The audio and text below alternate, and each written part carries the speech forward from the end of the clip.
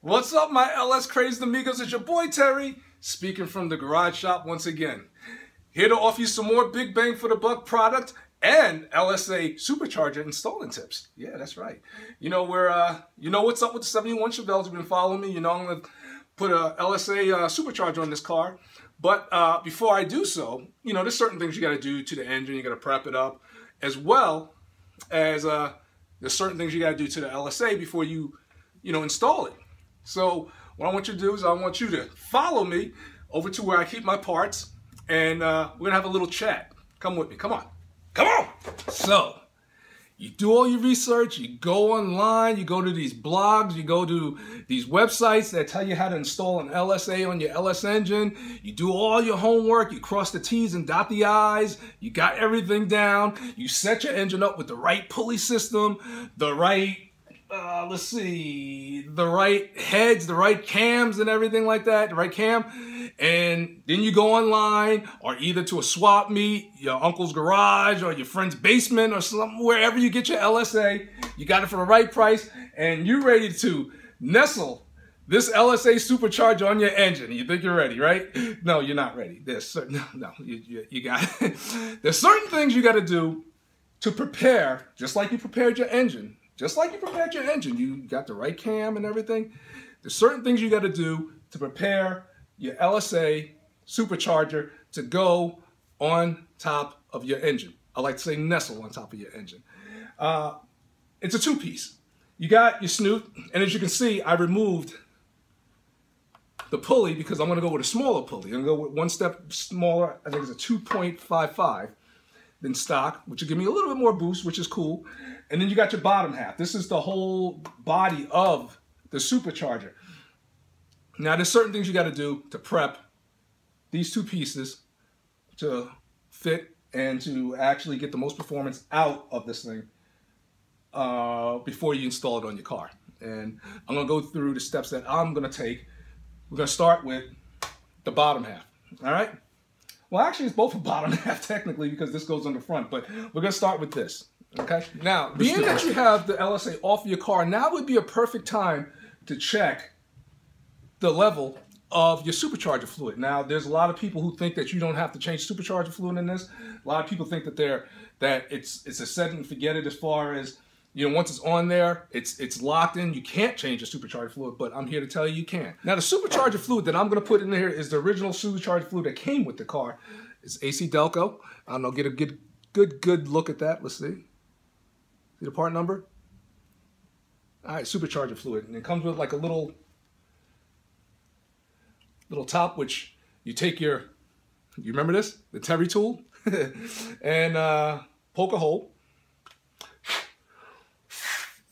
Remember, blow it out because uh, you don't want to get any contaminants in there. You know, and then you take your hex, what size is this? This is a, what size is this? 3 sixteenths. Like a, it's got like a six-sided hex, I guess. I don't know. All right, and you open the, start squeezing it in until it starts to leak out of the supercharger. See, there you go, starting to leak. Take your cap, Close it up. I'm going to make sure that rubber grommet is on it because there's a rubber grommet. Yep. That seals it in. You don't want to forget that. Okay, now this is the underside of the LSA supercharger, the bottom half.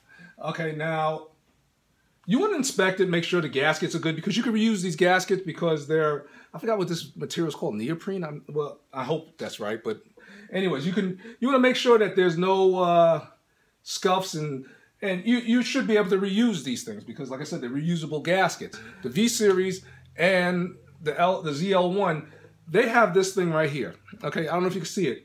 It's a dowel pin. I broke mine already. This is it right here. It sticks out. It protrudes out of the out of the head and through the gasket. basically it's an alignment uh, an alignment dowel pin. So if you have heads from off of a V series or either ZL1, you could just put this right on and there's a hole in the head, in the passenger side head, that this little dowel will slip into so you know that it's dead on align. But being that my 6.0 on my LY6 doesn't have that hole. So what I had to do is break this. And the way I did it was, I just want to show you, the dowel sits in there like this. So it sticks out. I don't know if you can see that. So it'll stick out like that. What I did was I came in with my chisel and a hammer, pop, hit it about three times, and it just it just broke off. It looks like this now. You see where I broke it off? So you're gonna have to get that out unless you, like I said, unless you have uh, heads from off the off the car, or you have the engine. If you, you have the engine, you don't have to worry about what are we doing. But um, most people don't have the heads off the car; they just have this.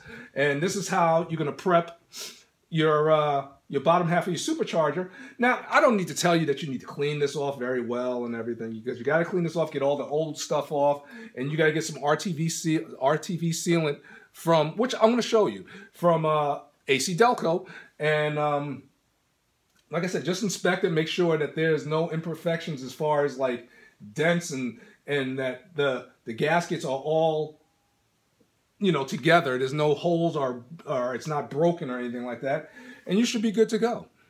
And um, that's pretty much it. You know, as far as the bottom half of this, and you want to make sure it's clean. You want to make sure, and like I said, now now's the perfect time to clean it out and you know go in there and if you see something that's not right, just make sure you clean out and and uh, make sure it's in good shape before you put on the, before you put on the engine. And of course, you need to torque them down, and uh, you should be good to go.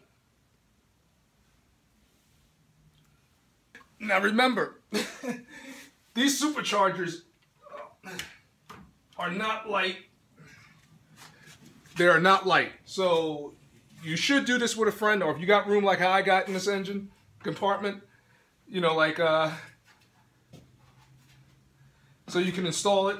Now, I'm not going to install it just yet. I'm just, I'm just fitting it in. Now, being that you don't now, this is important. Seeing that you don't have the dowel pin to guide you in, what you have to do is you got to kind of look and see because when you install it, you can see where the bolt holes are because the bolts hole, the bolt holes will line it up for you. And this looks like this is where it's gonna, where it's gonna live. But like I said, I'm not gonna bolt it in just yet. I'm just testing it out, just fitting it in. And you know, I gotta clean the clean the, the surface off before I bolt them down and everything. And so it's starting to look, we're getting there. Now remember, you want to inspect, make sure the gaskets are all good and make sure that they line up with the hole. But sometimes, every now and then, you'll see this. Now what happens is during shipping or when they took it off and, you know, like, cause you know, most of the time they took it off and they didn't care how they, they didn't treat it right. I mean, they took it off and threw it in the box or something like that and made damage to the gasket. And to repair this, to, to replace the gasket, you have to pop these out and, you know, especially when the gasket is just a little bit warped. And let me show you what I'm talking about when I say a little bit warped. See, what you want to do, you want to inspect, make sure it's not, it fits with the hole. It fits with the hole. See how this one fits with the hole? And you can also see right through it. That's where the bolt hole is going to go. That's the bolt hole. That's where it's going to go. But if you look here, we got a situation. Look at this one. You see how that's all messed up right there? And like I said, that's probably from, you know, when they took off the supercharger and put the new one on, they just didn't care about this one or they just threw it around, or I'm gonna say throw it around because things are heavy. But I'm gonna show you a quick fix. How I'm gonna fix this. You get your adjustable and be very careful with the gasket. Check this so out. what I'm gonna do is I'm gonna get the adjustable, got it. I'm gonna grab one part of the adjustable on this end right here. This is the part of the gasket and the part of the body of it. And gently get this thing back into shape.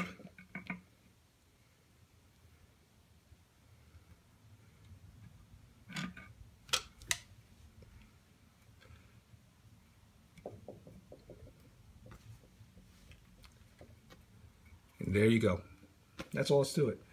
If I left it that way, I was looking for for air leak, a vacuum leak. So you can see all the holes are pretty much the way they should be. Quick fix.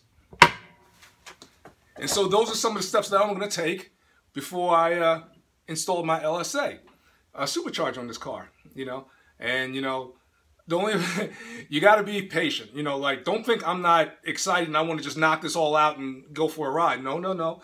You take your time and you you you can even make a checklist. I got a checklist of all the stuff that I want to make sure is done before I uh, start this car up. Is, stuff as minor as even putting antifreeze into the car because you know like sometimes you get a little anxious and you just overlook certain things and you don't want to overlook something that could be pretty much a, a disaster. You know that that that uh, if you if you overlook it, it could be a disaster because this is all about being having fun. All right, so looking at the clock on the wall or should I say ceiling, it's time for me to get back to putting this car back together. And uh, like I said, you know, we're to have fun with this. We're to get the dyno numbers and everything. Hopefully they're not too embarrassing because, you know, I'm doing a lot of work here. but anyways, as always, as always, please be easy. And I'll catch you guys real soon. Take care.